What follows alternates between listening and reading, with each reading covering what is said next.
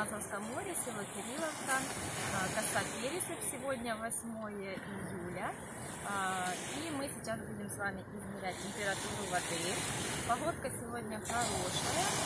Есть небольшие облака, но а, волны небольшие. В общем, отличная погода. Сейчас будем с вами измерять. Сейчас измеряем температуру воды.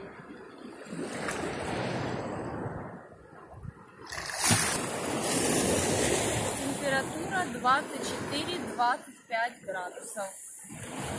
Водичка хорошая, прозрачная, медуз нет. Так что, если вы хотите приехать в Кирилловку или просто на Азовское море, приезжайте уже тепло. Всем пока-пока, ставьте лайки, подписывайтесь.